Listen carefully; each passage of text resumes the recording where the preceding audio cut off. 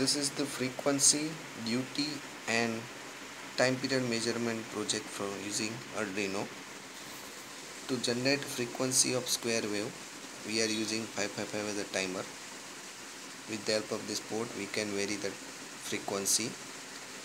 The Arduino measures the frequency time period and duty and displays it on LCD here we can see the frequency on period off period as well as duty now as we change the potentiometer the frequency will change that is measured and displayed on LCD the on time and off time periods are changing the duty cycle is increasing that is also displayed. So this is how